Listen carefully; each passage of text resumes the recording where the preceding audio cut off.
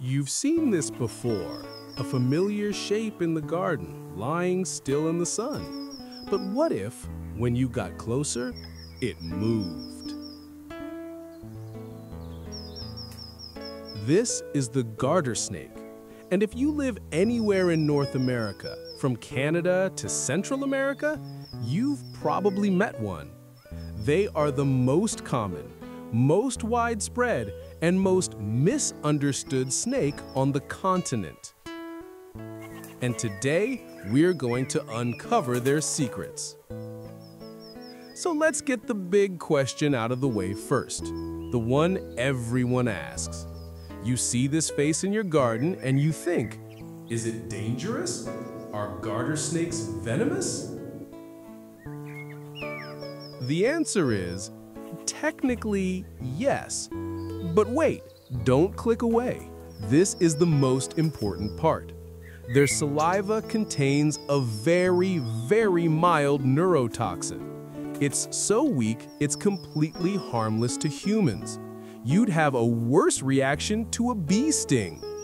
This venom is just strong enough to stun their favorite prey, like an earthworm or a slug.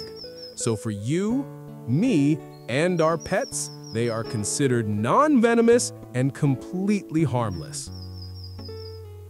So if a bite isn't their weapon against big threats like us, how do they defend themselves? You might be surprised. Their first line of defense isn't a bite, it's a smell. This is musk, a super stinky, foul-smelling liquid they release from a gland near their tail. It's their way of saying, I taste disgusting, leave me alone. And trust me, it works.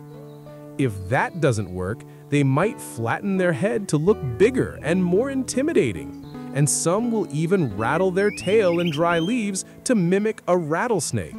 It's all a big dramatic bluff.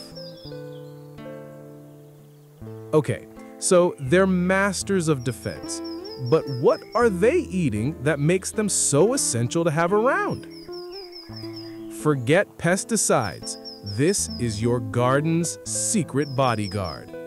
Garter snakes have a huge menu. They feast on slugs that chew your lettuce, grasshoppers that eat your flowers, earthworms, leeches, and even small rodents. They are a vital part of the ecosystem keeping pest populations in perfect balance. Seeing one of these is a sign of a healthy garden. They eat pests all summer long. But what happens when the weather turns cold? They don't fly south, they do something far more incredible.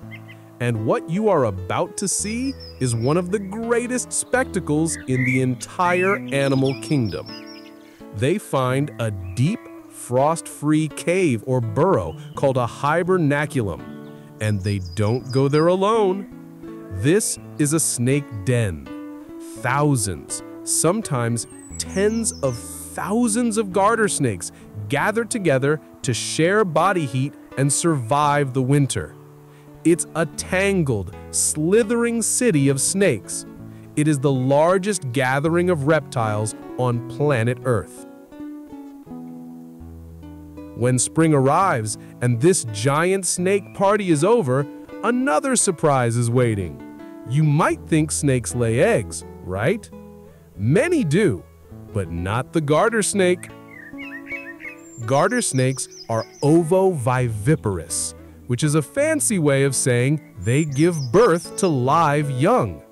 A mother can have anywhere from 10 to 40 tiny, independent, and utterly adorable baby snakes ready to go out and start hunting slugs from day one.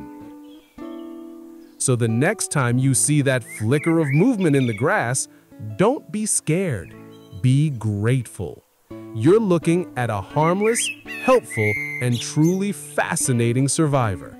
A dedicated pest controller, a master of disguise, and a devoted parent who throws the biggest parties on Earth.